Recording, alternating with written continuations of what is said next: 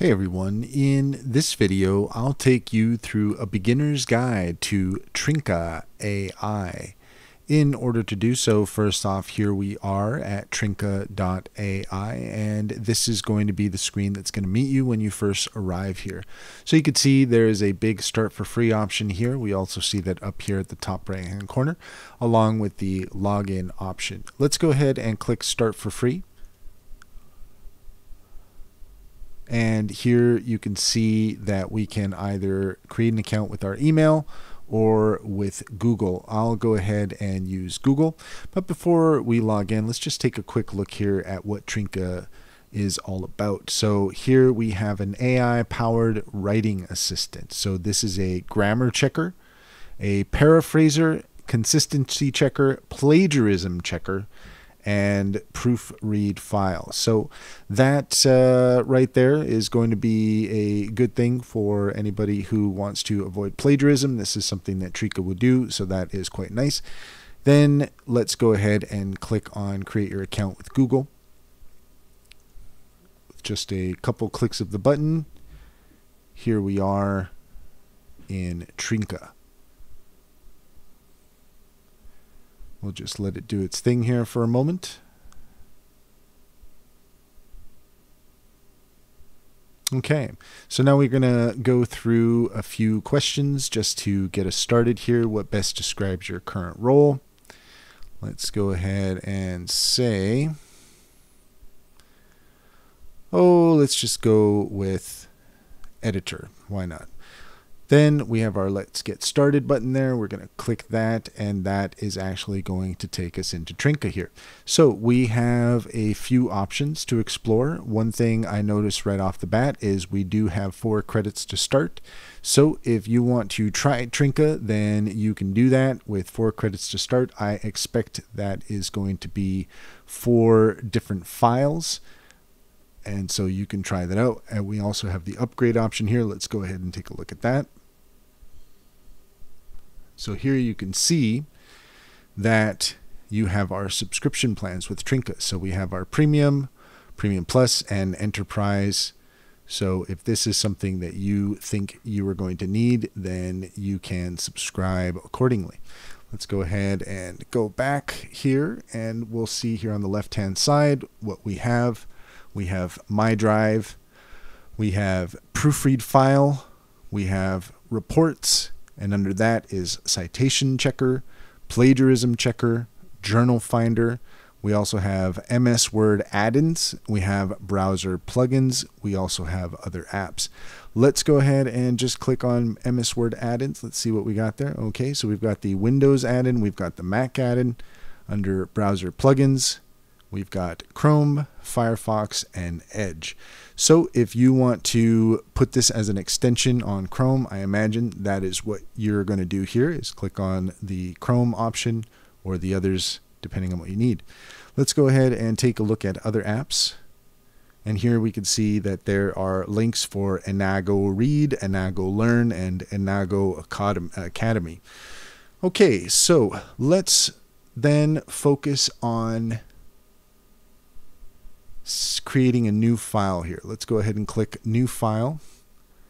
It is creating the file.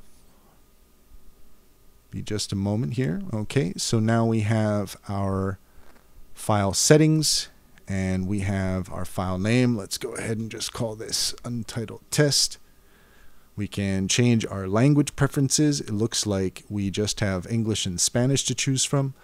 And as far as the editing mode, we've got the power mode and we've got the light mode. We've got some more settings here. Let's just take a quick look at that. We've got our document type, general, academic, legal, style guide, inclusive language. So if you want to check for inclusive language, then there is actually a drop down for that. So here you can also skip for now, or you can click apply. Let's go ahead and click apply. And we are now in our document. So from here, we have a variety of options at the top. We've got start writing or upload your document. Okay. We've got the grammar. We've got the paraphraser. We've got consistency. And we've got reports. So it looks like then what we would want to do in this case is uh, what I am kind of seeing here with Trinka is that it's essentially a word processor, not unlike Word or Docs or any other word processor that might be used. But the specific function here is to check grammar, to paraphrase, to check for consistency, and also we have our citation checker, plagiarism checker, and journal finder. So I, I, would expect then that if you have a document that you're working on, then what you can do is you can come into Trinka and you can work here and you can use this as a tool to check these various things. So let's go ahead and look at grammar. Let's uh, let's just try bringing something in from ChatGPT here just as a test. I've already got something there. Okay. So you can see now that on the right hand side we have some grammar corrections. Uh, if you want to go with these suggestions, I don't think the grammar is off. I got it from ChatGPT, but it is showing that there are other ways that you might want to word this that might be better. So that could be very helpful. Let's go ahead and take a look at the paraphraser. Okay, it says select text from the editor to paraphrase. So let's go ahead and, ah, so once we select it, then you see here that it has the option to paraphrase. Let's go ahead and click that. And now it is working at paraphrasing. And here you can see that it's taking our words and it's striking out everything that it considers non essential. So if you wanted to just then let's go ahead and click replace. There you go. So that replaces our words over here and paraphrases them. So that is quite powerful as well. If you see the need for something like this, I can definitely see how this would be a very useful tool. Let's check consistency. And it says no consistency issues found. So I would expect that this is something that when you have your document at its final stages, or you just have more information than we currently have, then that is going to check for inconsistency issues, and that's another thing that's going to help you with your document and getting that as tight as possible. Finally, we have the reports here, citation checker. Let's go ahead and see what happens when we click on that. Identify weak citations in three simple steps.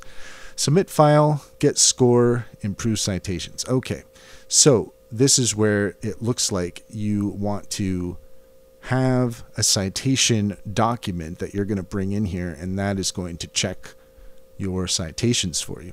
Let's check the plagiarism checker. And here you can see that in order to use the plagiarism checker, it appears that you are going to want Premium Plus to do that. Let's try the Journal Finder.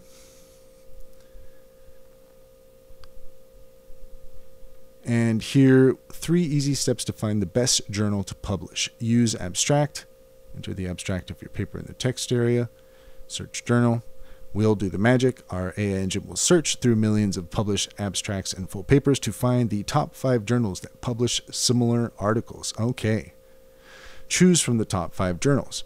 So, what this is actually going to help is if you have a specific topic that you are working on and you want to find the best journal to publish, then that is going to help you do this. So that gives you an idea of everything that Trinka is capable of. It is definitely something that would be useful for journalists or anybody who's writing a paper. Some really powerful tools here. That's all there is to it. We'll just stick with that for now. If you found this video helpful, please leave a comment and like and subscribe for more helpful tips.